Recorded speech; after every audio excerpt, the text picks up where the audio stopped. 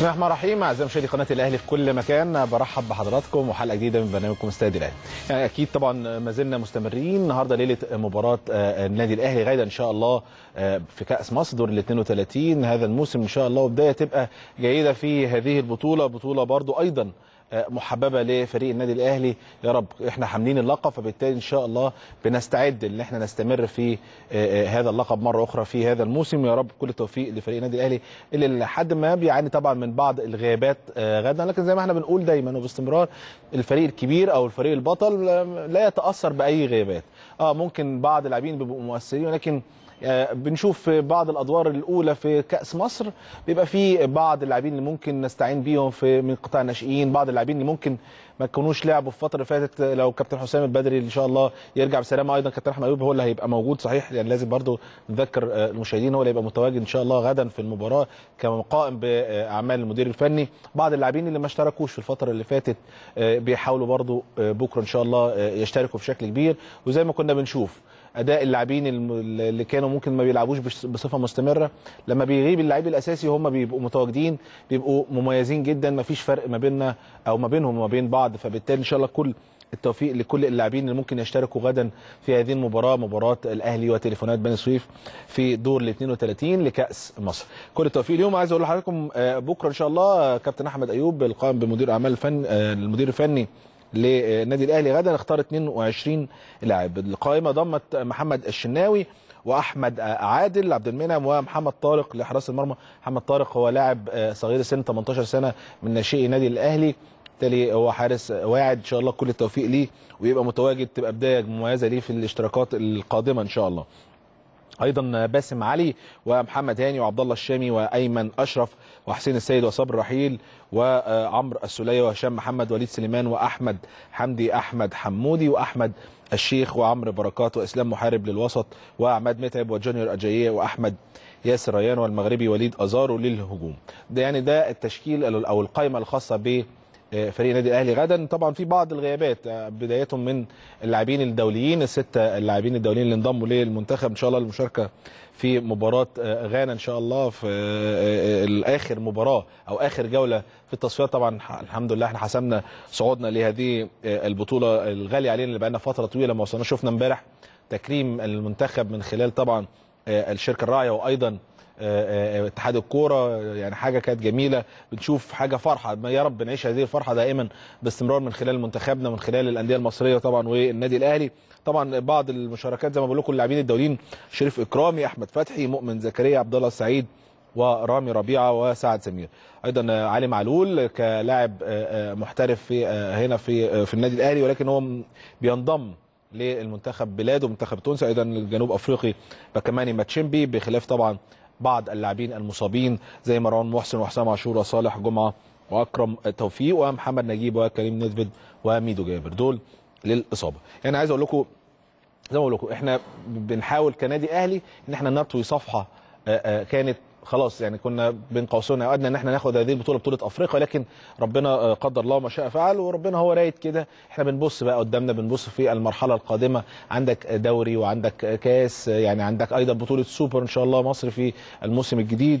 فبالتالي ده اللي إحنا بنفكر فيه ما بنفكرش ورانا خلاص. وده ده عادة النادي الأهلي. وارد جدا تخسر بطولات وارد جدا تخسر بعض اللاعبين ولكن انت عندك ما شاء الله 30 لاعب موجود في احسن مستواهم عندك اهداف تانية بتحاول تدور عليها سواء بقى البطولات الموجودة سواء إن أنت بتكون فريق. إحنا دلوقتي ما شاء الله عندنا يعني بنذكر حضراتكم إن إحنا عندنا فريق واعد إن شاء الله مجموعة من اللاعبين صغار السن مع طبعا مجموعة من اللاعبين الخبرات ولكن معدل الأعمار في فريق النادي الأهلي معدل مميز جدا يستمر معاك لمدة ست سبع سنين كمان قدام بشكل مميز جدا وبشكل ممكن إن شاء الله يفرح جماهير النادي الأهلي بأمر الله. يا رب كل التوفيق مع طبعا الاستقرار الإداري والفني للفريق والشكل اللي إحنا بنشوفه للنادي الأهلي والمؤسسة الكبيرة اللي باستمرار.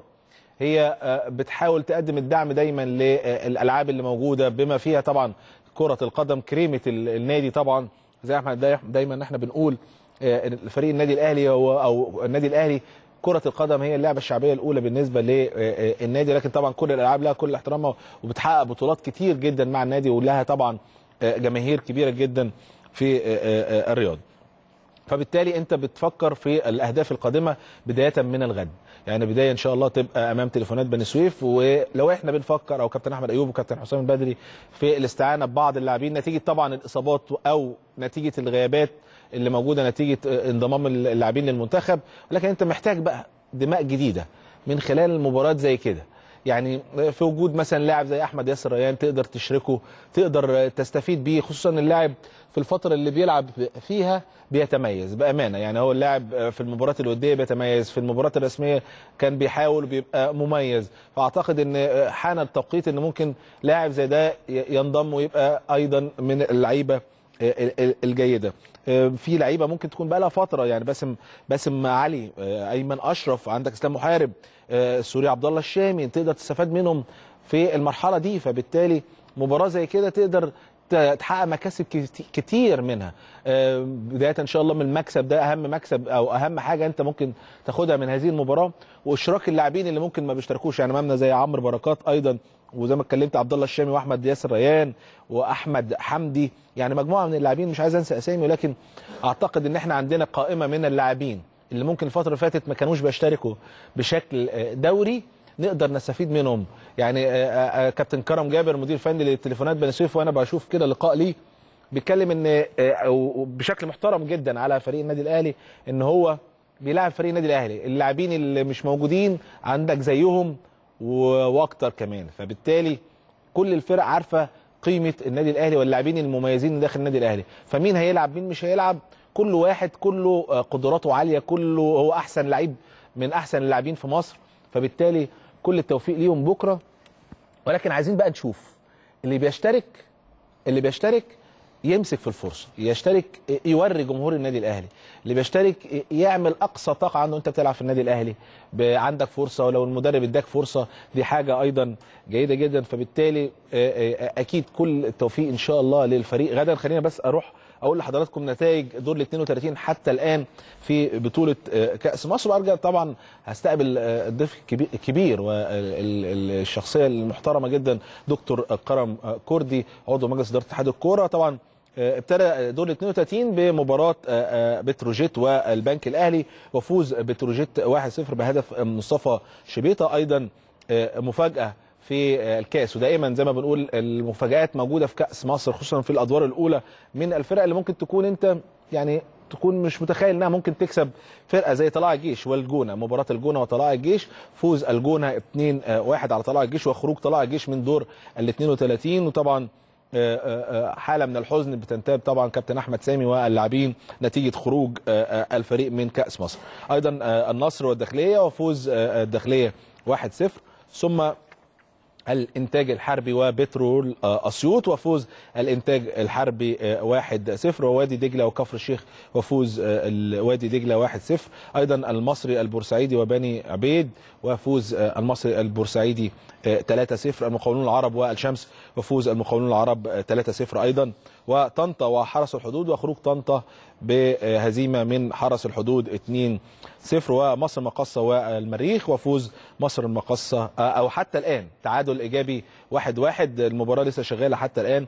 أيضا لسه في مباراة النهارده ختام لليوم. الزمالك والمنيا وتأجلت هذه المباراة نص ساعة. يعني إحنا بنشوف إن شاء الله الأدوار أو الأدوار الأولى ودور 32 بالنسبة لكأس مصر وسخونة. ممكن المفاجأة الوحيدة في هذا الدور هو خروج طلائع الجيش من الجونة وهزيمة من فريق الجونة. ولكن طبعا ما زال طبعا الكأس مصر هيستمر. هتشوف مفاجآت هنشوف فرق ممكن تكون بعيدة عن الأنظار ممكن تبقى متواجدة. ولكن هدفنا الأول وإحنا بنتكلم هنا دائما على فريق النادي الأهلي. إحنا كامل التوفيق إحنا زي ما بقول لكم إحنا حاملين اللقب.